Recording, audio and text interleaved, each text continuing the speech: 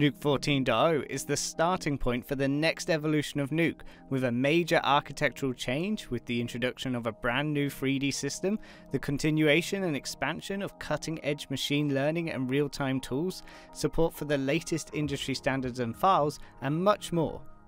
This release is all about helping artists work more efficiently and laying the groundwork for how artists work with Nuke for years to come. This release introduces a completely new Beta 3D system to Nuke, which is being re-architected from the ground up with the goal of providing greater performance at scale while still maintaining the ease of use and familiarity users currently enjoy, so that artists can feel at home while benefiting from a modernized 3D system.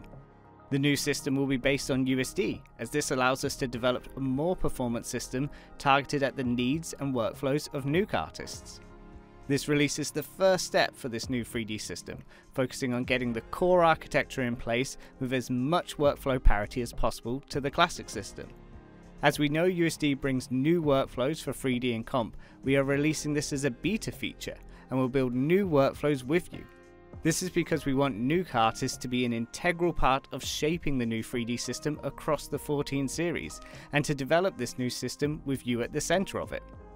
There will be a new forum dedicated for 3D feedback available to all Nuke users, and we're really excited to discuss with you the future of 3D compositing in Nuke.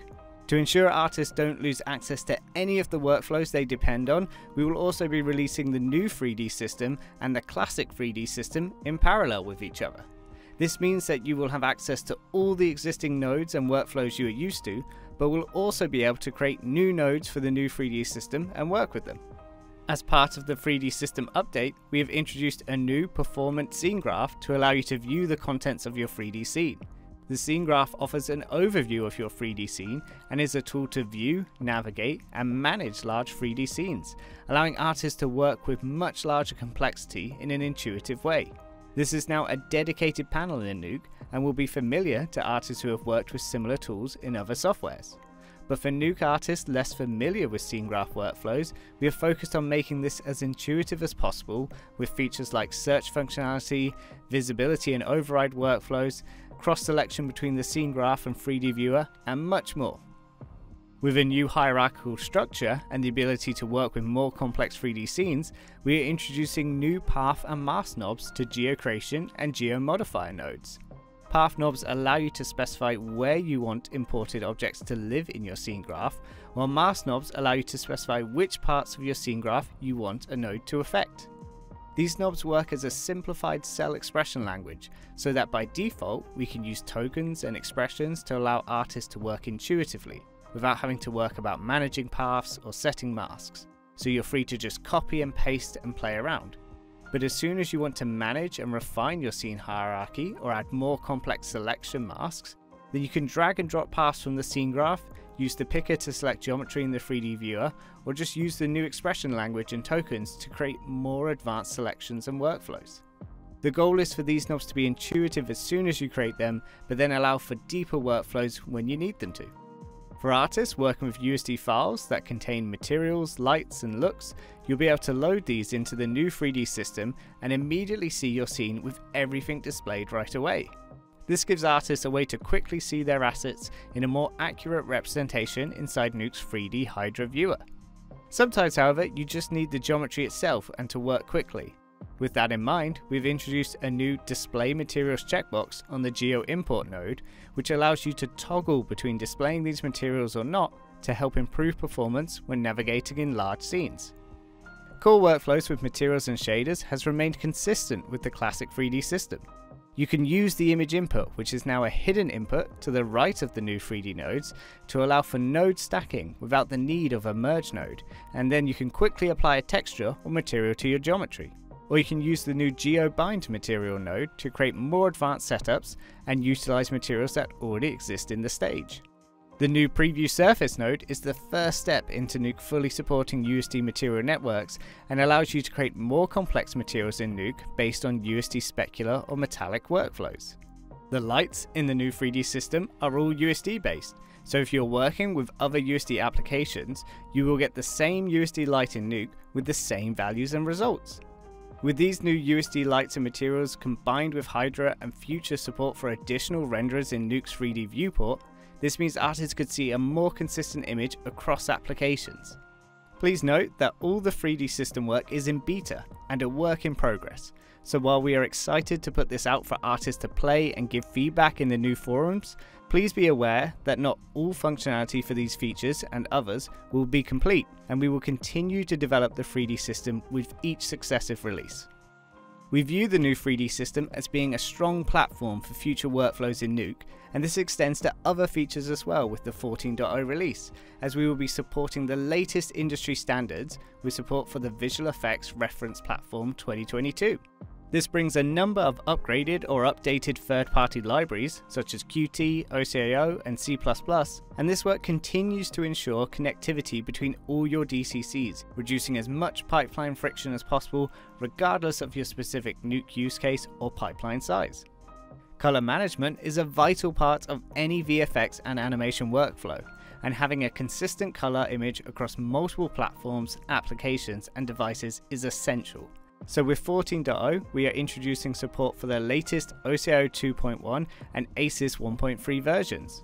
For ACES, this includes two new configs, a lightweight version called CG for use in animation without the many camera input transforms that make up the bulk of the OCIO V1 ACES configs, and a full studio version geared towards VFX and live action shows that require a wide variety of camera color spaces, displays, and looks.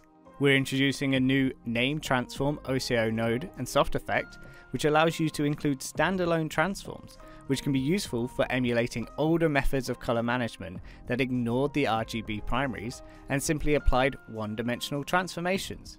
And for ACES workflows, a new ACES reference gamut compression feature, which helps fix artifacts from out of gamut values in source images. With this update to OCIO 2.1, we have laid the groundwork for further exciting colour management features in the Nuke 14 series, and we are looking forward to seeing how you implement these features into your colour pipelines. With this release, we have updated three SDKs from Sony, Arri, and Red, adding support for brand new flagship cameras from these major manufacturers. These include the Alexa 35 camera from Arri, the brand new Venice 2 camera from Sony, and the V Raptor XL camera from Red. All of these cameras are supported by new input transforms from the ACES 1.3 config in the OCIO color management option, providing the best possible color renditions in Nuke and Nuke Studio.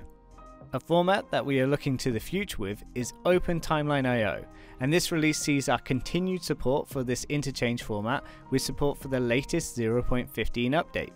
This sees the import and export of editorial cuts, including dissolves and retimes, as well as auto-conform with correct file paths for review playlists. Beyond that, we believe that Open Timeline IO can be the interchange format for modern editorial workflows that allows you to carry all the data you need from the start of production to the end in one place, and this is what we are excited to build towards. For artists working with HDR data, we are including colorimetry metadata support to allow for users to have an easier and quicker setup for their monitoring devices.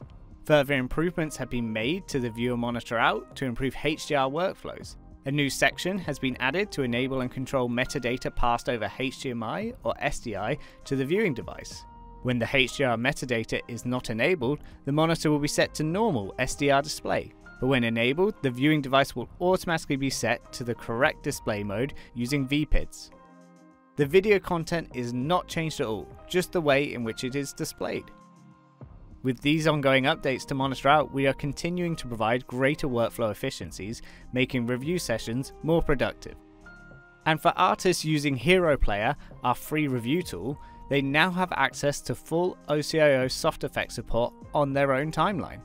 This means projects imported from Studio or Hiero can be opened and all the OCIO soft effects can now be accessed and adjusted and new instances of OCIO can be added on new tracks or clips, giving you even greater control over how you work with soft effects in Hiero Player and allowing artists to better review in the context of a sequence. Login based licensing has been introduced for both teams and individuals as of Nuke 14 across the entire Nuke family, and it's here to help make licensing and working with flexible teams easier. All you need is an email and password, and you can log in to access and use your Nuke family software licenses on any machine wherever you need to. This gives you greater flexibility and control over how users administer and manage software and licenses, and allows you to roam licenses when you need to. This new functionality will be available to users with active maintenance from Nuke 14 onwards, and this new system is entirely opt-in and can run alongside our current RLM licensing support. The Unreal Reader node, introduced in the Nuke 13 series, is coming out of beta for 14.0 and is ready for artists to take advantage of in order to advance new real-time workflows with the control and flexibility of Nuke. In this release, we have added the ability to add custom render passes, which can provide artists with an expanded set of render passes for greater control over the final look, you can also now control Open Color I.O. settings for the Unreal Render to ensure color consistency in your Unreal and Nuke pipeline. And in Nuke 14 we have added metadata from Unreal level sequence actors to the EXR render, allowing you to automatically drive settings in your Nuke composite, such as depth of field values, light positions, and axis modes for reference. There have also been improvements in the workflows for selecting maps and sequences with a number of additional filter options. All of this culminates in a new way for artists to stream their data from Unreal into Nuke and utilize all your compositing tools and tricks to help enhance real-time workflows. The Copycat node was also introduced in the Nuke 13 series, and artists have been showcasing some amazing results with a node that puts machine learning in the hands of artists. For 14.0, we wanted to keep accelerating these workflows and have improved Copycat with faster training on NVIDIA Ampere GPUs, accelerated results when matting humans, and brand new visualization features for multi-channel workflows that allow you to better highlight the relationships between images during training. With this release, Copycat is faster, more reliable, and easier to use, and we will continue to push these tools to help accelerate your workflows. A great new addition for 14.0 is the release of the Cattery. This is a library of some of the most popular third-party machine learning models which have been converted to run natively inside of Nuke as .cat files that can be used with the inference node. The collection of models includes segmentation, depth estimation, optical flow, upscaling, and more, all available as a separate download that can be put into your .nuke folder to be included for use in Nuke. With Cattery, we are bridging the gap between academia and production and giving every artist access to the best in third-party open source machine learning models.